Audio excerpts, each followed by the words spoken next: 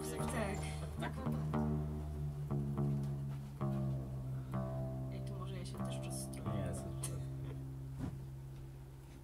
Jest taki amerykański artysta, nazywa się Warren Zevon. Wybitny. Nie, znaczy, nie tylko wybitny, ale to, że wybitny jak wybitny, ale bardzo ubóstwiany w wielu kręgach. I on był bardzo takim zapomnianym pieśniarzem. On był takim pieśniarzem, Takim pasującym tutaj, nie? taki prawdziwy pieśniarski pieśniarz, tak. I, um, i um, no i on był taki, aha, jaka jest historia, jak ja to zawsze opowiadam. No, że on poszedł do lekarza. No, i on napisał taką piosenkę na 3 lata przed własną śmiercią, którą usłyszycie za chwilę. Piosenka jest bardzo smutna, opowiada o e, śmiertelnym raku. No więc napisał tą piosenkę po, o tym, jak to poszedł do lekarza, bla, bla, bla. No i rzeczywiście na trzy miesiące, e, i w którymś, i dwa lata po napisaniu tej piosenki poszedł do lekarza i usłyszał od swojego lekarza to samo.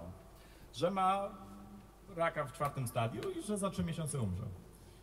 I napis... Aha, no już nie napisał, bo napisał wcześniej, ale i po czym, aha, po czym, po czym postanowił nagrać swoją ostatnią płytę życia. Jest piękny dokument na VH1 o tym, jak to nagrywa tą ostatnią płytę życia.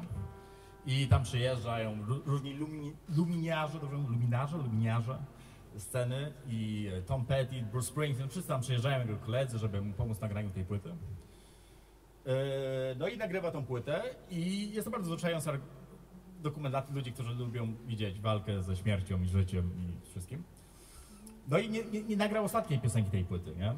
I po czym z tego, bo jako że był wcześniej alkoholikiem, to zaczął pić na sam koniec swojego życia i przerwał nagrania i przez rok pił. Z czego jest wniosek, że jeżeli macie śmiertelnego raka i macie 3 miesiące życia, należy pić przez rok, ponieważ nawet rak się nie rozwinie. I e, po czym, jako że miał rodzinę i dzieci i tak dalej, to Aha, to chciał do- doczekać się wnucząt i przestał pić, żeby być, żeby być trzeźwy na, na, na, na kiedy spotka w końcu wnuczęta, no i zmarł. I nagrał, aha, i nagrał ostatnią piosenkę i nagrał, no.